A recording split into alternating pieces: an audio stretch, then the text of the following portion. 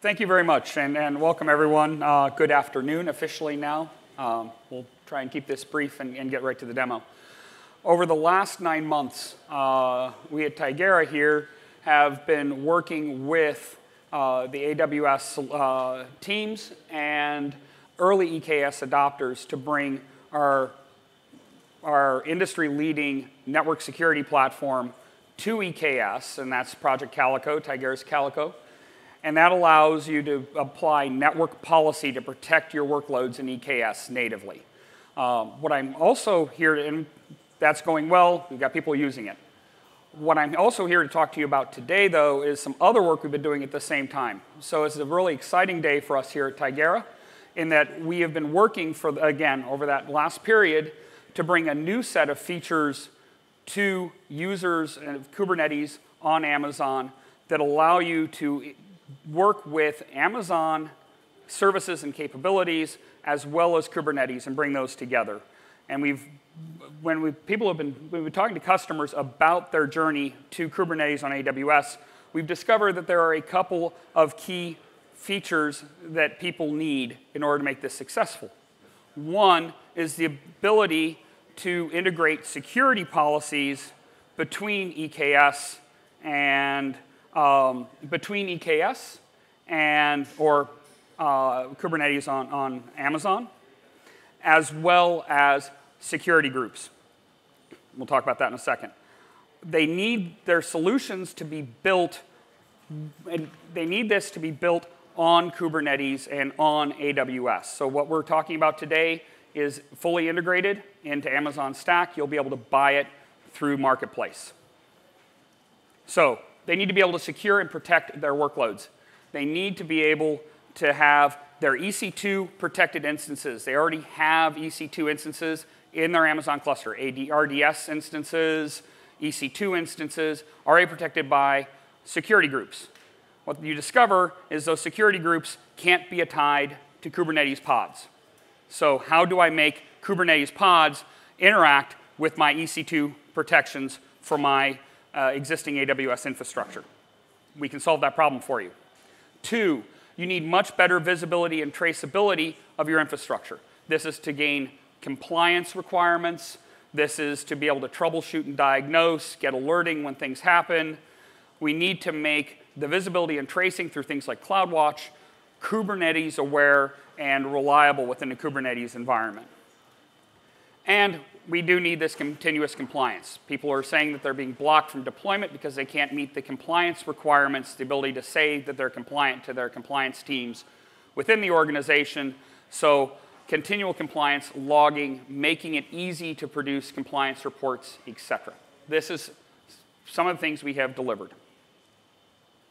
Let's look at the first one.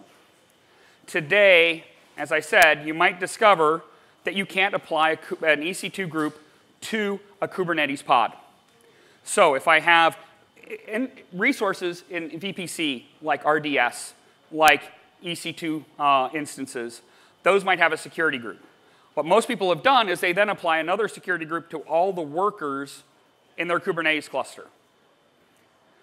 What you can't do is apply that security group to a given pod because security groups bind to the interface of an EC2 instance. Since you don't know where the Kubernetes pod is going to show up, the only way that you can allow, say, a Kubernetes instance to access your RDS database is to apply a security group to all of your Kubernetes workers and then allow that security group access to your RDS instance. I'm seeing people shaking, nodding their heads. That is probably not a zero trust model because that means every Kubernetes pod, everything on that EC2 instance can now access that database. You probably have not achieved security. We can solve that problem. And let me show you with the first mini demo. So once my screen wakes up, what we have done is we've given you the ability to attach a security policy to a Kubernetes cluster. And I'll show you how we do that. First thing I want to show here is uh, we have a DB instance. I've already stood it up and I have a security group here. Uh, the only one that's really applicable is this DBSG, and it has a inbound rule. If I look at that inbound rule, sorry, if I look at that inbound rule, this is the DBSG inbound rule, it is going to allow traffic inbound from uh, this security policy here, which is uh, DB access. I'll, i can dig that back up, but this is the DB access security policy, or access DB security policy. Make note of that number on this policy. What we can now do in Kubernetes is we can annotate a pod. In this case, I'll go and look, pull up the pod here, pod list in the right namespace. Here's my backend. My backend needs to be able to talk to the database. So what I do is I annotate the pod with a label that says this is a member of a given security group. When you do this, we go tell AWS VPCs that the IP address of this pod and this pod only is a member of that security group. If you'll notice on that RDS, there was no ACLs that allowed traffic in other than that security group. If I go over here now, I'm logged into that pod. Please trust me, I've only got a couple of minutes. Now, let's go and try and telnet to that. Uh, let's go try and telnet to that database on the SQL, um, PGSQL port.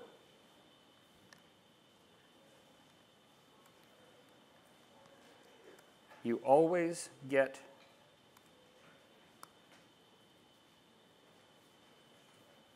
ah. Cut and paste always gets you in a demo. And you'll notice I am now connected to that database.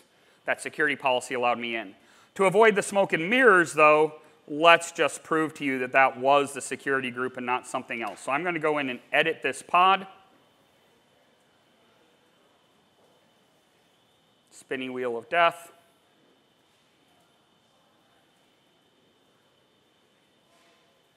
Okay. Um, I've got a latency problem here somewhere. There we go. Now I'm just going to remove that annotation.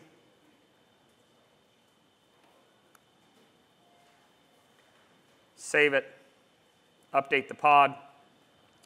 You'll now notice that the annotation is gone. If I go back here and try the telnet again,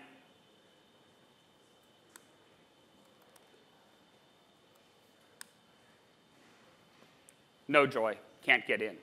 I've now linked security groups into pods. I can do the reverse. I can now refer, also, I'm not going to show you now, I can use security groups as labels in Kubernetes network policy so that Kubernetes network policy can refer to things tagged by, spe by specific security groups. Now that I've done all that, the next thing I need to know is logging. Logging is great. Flow logs in CloudWatch aren't really incredibly useful in Kubernetes for two main reasons. One, Kubernetes network policy can block flows. When you block flows, CloudWatch flow logs do not show up. So all the things I might really be interested in as a signal to show I'm under attack or there's been a misconfiguration and why some application isn't working will no longer be logged because CloudWatch only picks up allowed traffic, not denied traffic. So we need to capture denied logs as well as allowed logs. Two, in a Kubernetes environment, IP addresses on workloads change really, really frequently. So having a log, I've got, to, I've got to wrap up, but having a log that shows IP addresses isn't useful. I need to have them mandated with metadata, and I'm just going to show you really quickly the actual flow logs that we have here, and then I'll get off the stage.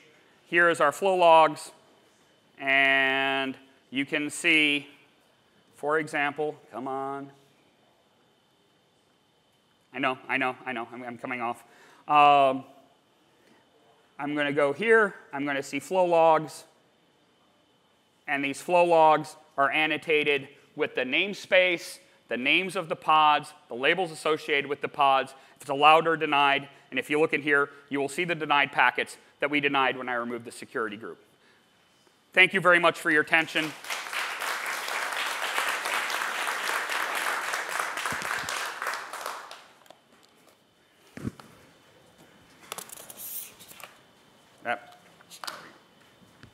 Christopher, come join Yep. us. Too many cables. There we go. There we go. That was, that was dramatic. So I had a question. Sure. Uh, as you know, one of the best parts about using containers is that you can spin them up and bring them down, Mm-hmm. in, you know, extremely quickly. Do lots of experimentation, et cetera. How quickly do these security policies get applied to, you know, these external resources, these security groups, and how, how quickly do those updates go out? really, really quickly. So that's one of the things we've spent a lot of time optimizing at, at Tigera.